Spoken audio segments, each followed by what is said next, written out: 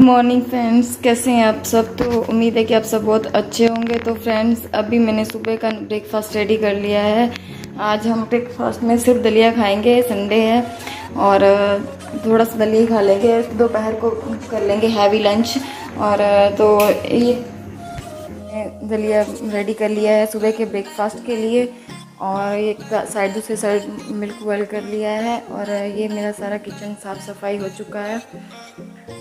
अभी सुबह का भी मैंने नाश्ता नहीं किया है, सबसे पहले साफ़ सफ़ाई की है आज सारे घर की, और, बाकी के सारे काम हो चुके हैं, बच्चे बच्चे नहा लिए हुए हैं, और अभी ये कर रहे हैं, खा रहे हैं मैंगो तो अभी इसके बाद तो अभी आ जाते हैं अपना परम कर्तव्य पूरा करने के लिए, जो कि हर एक लेडीज़ का परम धर्म है, साफ़ सफ़ाई तो अभी कर लेते हैं साफ़ सफ़ाई। आज संडे है तो थोड़ा सा इन्जॉय करना तो बनता ही है।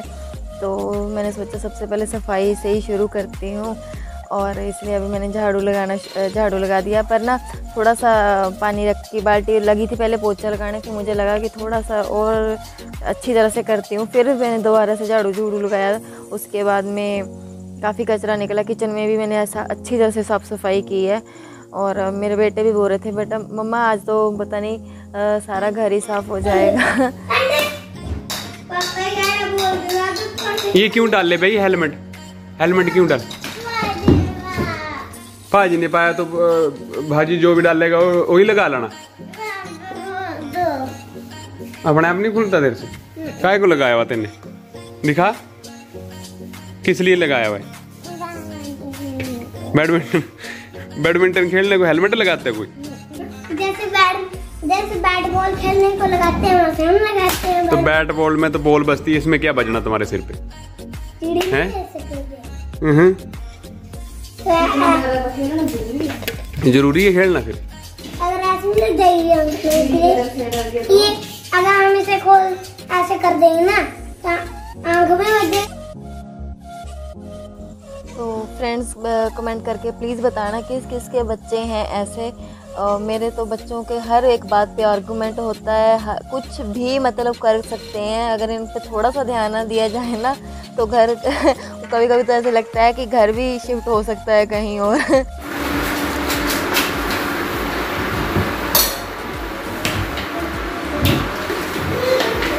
हेलो फ्रेंड्स तो ये काम जोरों शोरों पे चला हुआ है। सुबह से पूरे काम में लगे हुए हैं। बखियाँ भी टूट गई हैं। हालत खस्ता है। फिर भी लोग वीडियो नहीं देखते हैं।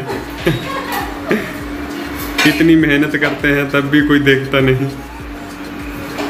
खड़ा बेटा सीधे मार दिया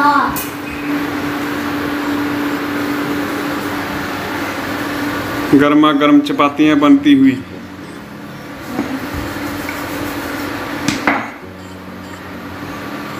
तो कुक बहुत तकड़ा है हमारे पास।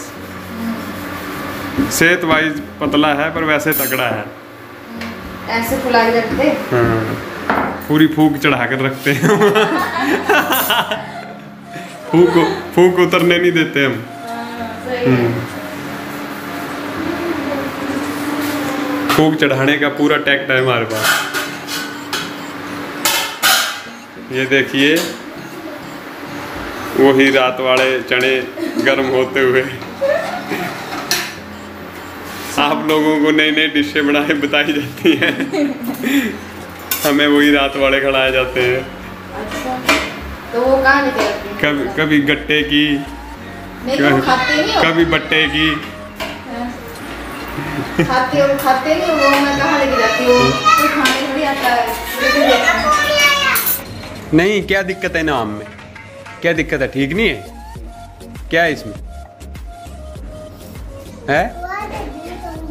है? क्या होती हालत क्या है इनकी? ठीक नहीं, हालत? है भाई? कबू सेठ? सिंगर कौन सा अच्छा लगता है कबू तेरे को सिद्धू। सिद्धू?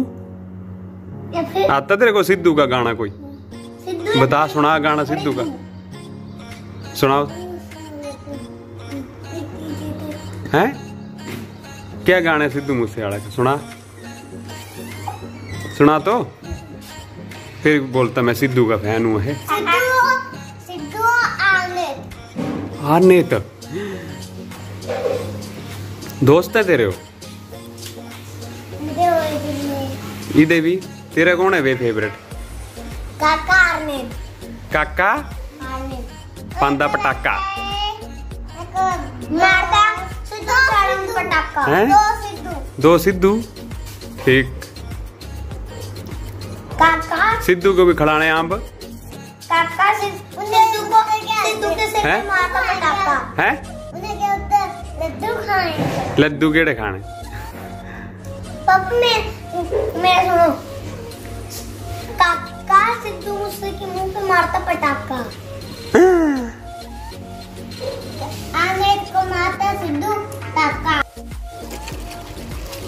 अभी अपना सारा काम ख़त्म करने के बाद में साफ़ सफ़ाई हो गया है, सारा लंच ब्रेकफास्ट सब कुछ हो गया है। तो अभी मैं आ गई हूँ, थोड़े से कपड़े रह गए थे। वैसे मैंने फ्राइडे को ही धोए थे, पर थोड़े से थे। मैंने कहा चलो इसको भी निकाल देती हूँ। तो साथ के साथ ही धूप बहुत अच्छी थी, सूख जाएँगे।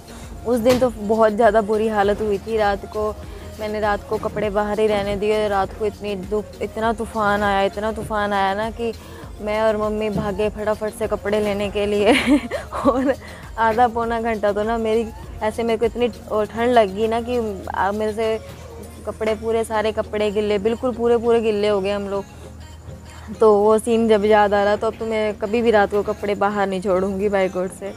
तो अभी मैंने सोचा था, आज मैंने कि लंच में कड़ी चावल बनाऊँगी बट मैंने फ्रिज में देखा कि काफ़ी सारे चने पड़े हैं तो वो मैंने रात को बनाए थे, वो एक्स्ट्रा हो गए थे। तो मैंने कहा, चलो अभी लंच में यही खा लेते हैं, पर इस बात पे हस्बैंड ने ताना मार ही दिया। तो किस किस के हस्बैंड ऐसे करते हैं ना, बताना मेरे को ज़रूर। तो कपड़े कपड़े धोने के बाद जब मैं फ्री हुई तो मैंने सोचा कड़ी बना लेती हूँ, पर वो मुझे दही मिला जो वो बहुत खट्टी थी तो फिर मैंने सोचा चलो भिंडी बना लेती हूँ भिंडी और चपाती बना लूँगी रात को और कड़ी बना लूँगी कल। तो अभी मैं बना रही हूँ भिंडी और आज मैं बनाने जा रही हूँ अलग तरीके से भिंडी और दही लगा के मसालेदार जैसे होटल में बनाई जाती है ना, वैसी वाली भिंडी। तो फिर उसको देखने के लिए आप वीडियो में लगातार बने रहिएगा। हेलो गाइस तो मैं आ गई हूँ अपनी किचन में।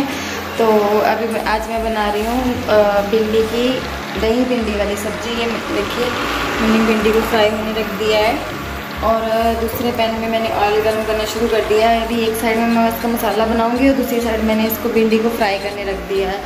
तो जैसे मेरी भिंडी फ्राई हो जाएगी, दही की दही डाल के बना रहे हैं। बहुत ही मज़ेदार रेसिपी बना रहे हैं। भिंडी तो आप लोगों ने बहुत खाई होगी बट एक बार ऐसे बना के ज़रूर देखना। हम भिंडी को हल्का सा फ्राई करेंगे। फ्राई करने के बाद तो फ्रेंड्स मैंने अभी डाल दिए हैं टमाटर, प्याज को रफली चॉप किया है, बहुत मोटा मोटा काटा है मैंने। अभी इसको जस्ट लाइट ब्राउन होने तक लाइट ब्राउन के पिंक कलर का जब तक ये होगा, तब तक मैं इसको भून लूँगी। और इधर यहाँ मेरी भिंडी फ्राई हो रही है। भिंडी के मैंने जस्ट जो छोटी भिंडी है, उसका एक ही टुकड़ा किया है, जो बड़ी है, थोड़ी सी उसके दो कर दिए हैं। अभी जब तक मेरी भिंडी फ्राई होगी, और इधर ये मसाला पकेगा। इसके बाद आप लोग सोच रहे होंगे ना कि भिंडी में टमाटर कौन डालता है। तो आप एक बार ऐसे ट्राई करके ज़रूर देखना। मैं आपको जब आप बाद में रेसिपी बन के आएगी ना, तब आपको बताऊँगी। क्योंकि अभी इसको मैंने थोड़ा सा भूनने के बाद इसको करूँगी ग्राइंड और ग्राइंड करने के बाद इसमें डालूँगी दही। दही मैं आपको बना के पूरी रेसिपी बताऊँगी। प्लीज़ एक बार इसको ज़रूर ट्राई करके देखना। बहुत ही टेस्टी बनती है। मैं भी कभी भिंडी की सब्ज़ी में टमाटर यूज़ नहीं करती हूँ। बट जब मैं दही वाली सब्ज़ी बनाती हूँ ना, भिंडी की दही वाली सब्ज़ी तो मैं इसमें टमाटर ज़रूर डालती हूँ। बहुत अच्छा टेक्सचर आता है। हम टमाटर को इतनी अच्छी तरह भून देंगे कि इसका टेस्ट ना के बराबर आएगा। बट इसका जो सब्ज़ी का जो टेक्सचर है ना, वो इस टमाटर से चेंज हो जाएगा। ठीक है तो अभी मैं इसको ग्राइंड करने के बाद आपसे मिलती हूँ। तो ये हमारी हो गई है ग्रेवी रेडी अभी इसको हम बिल्कुल लो आँच पे थोड़ी देर भून लेंगे, अच्छी तरह से भून लेंगे जब तक इससे ऑयल सेपरेट ना हो जाए और तब तक ये मेरी भिंडी भी थोड़ी बहुत हो ही गई है, थोड़ी बहुत पकने देंगे क्योंकि दही डालने के बाद ना भिंडी अगर बाद में पकेगी नहीं अच्छे से, इसलिए हमें इसको पहले इधर से अलग से पका लेना है। तो अभी ग्रेवी थोड़ी देर में रेडी हो जाएगी, जब लास्ट स्टेज पे आएगी तो मैं आपको बताऊँगी, ठीक है? तब तक के लिए वीडियो में बने रहें। तो फ्रेंड्स अभी हो गया इसका मसाला बिल्कुल रेडी हो गया। देखिए ऑयल ऑयल ऊपर आ गया है। अभी मैं इसमें डालूँगी दो चम्मच दही के। दो क्या थोड़ा ज़्यादा डालूँगी, क्योंकि दही दही का इसमें टेस्ट आता है ज़्यादा। और दही से ना इसकी बड़ी मज़ेदार सब्ज़ी बनती है, दही से। ज़्यादा डाल दूँगी ये चम्मच छोटा है।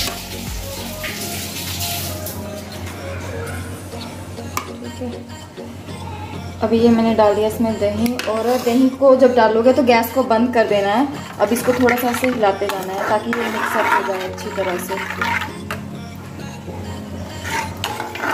अभी ताकि दही डालने से ना फट सकता है, इसलिए इसको मैंने गैस को बंद कर दिया है। अभी अच्छे से मिलाऊँगी पहले।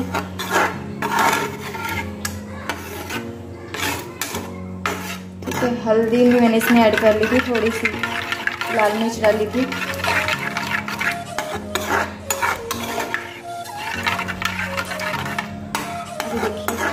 अभी जैसे ये हो गया है मिक्स अच्छी तरह से।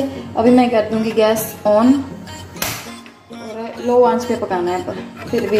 और इसको अच्छी तरह से हिलाते रहना है जब तक ये अच्छी तरह से पक ना जाए। दही को भी पकाना बहुत ज़रूरी है, नहीं तो उसका टेस्ट नहीं आएगा अच्छे से। अभी इसको बस ऐसे हिलाते जाएँगे और साथ के साथ इसको पकाते जाएँगे। अभी इसके बाद में मैं जब भिंडी इसमें डालूँगी, तब आपको दिखाऊँगी। तो ये अभी ग्रेवी हम होगी, हमारी रेडी है। देखिए, तेल ऊपर आ गया है सेपरेट हो गया है और बहुत अच्छी ग्रेवी बन गई है। दूसरी तरफ़ भिंडी भी रेडी हो गई है। अभी मैं ये ग्रेवी उस भिंडी में डाल दूँगी, क्योंकि ये पैन थोड़ा छोटा है ना तो अभी उसमें डाल दूँगी। तो फ्रेंड्स अभी भिंडी हो गई है, बिल्कुल रेडी ये देखिए, अभी मैंने सारी ग्रेवी इसमें डाल दी थी। और थोड़ी देर अब इसको लो आँच पे, देखो मैंने टेम्परेचर कम कर रखा है, थोड़ी देर लो आँच पे पकाऊँगी। ताकि जो भिंडी है ना, उसका रस अच्छी तरह से इसमें मैच हो जाए और अच्छी तरह से ये भिंडी, इसका रस अच्छी तरह से अपने अंदर सोख ले। एक बार आप ऐसे भिंडी बना के देखना, बहुत टेस्टी लगेगी और सूखी सूखी सी नहीं लगेगी। बड़ा टेस्ट टेस्टी बनती है ऐसे। एक बार ज़रूर ट्राई करें। अगर आपको रेसिपी थोड़ी सी भी अच्छी लगे होगी प्लीज़ उसे लाइक शेयर कमेंट ज़रूर करें। Thank you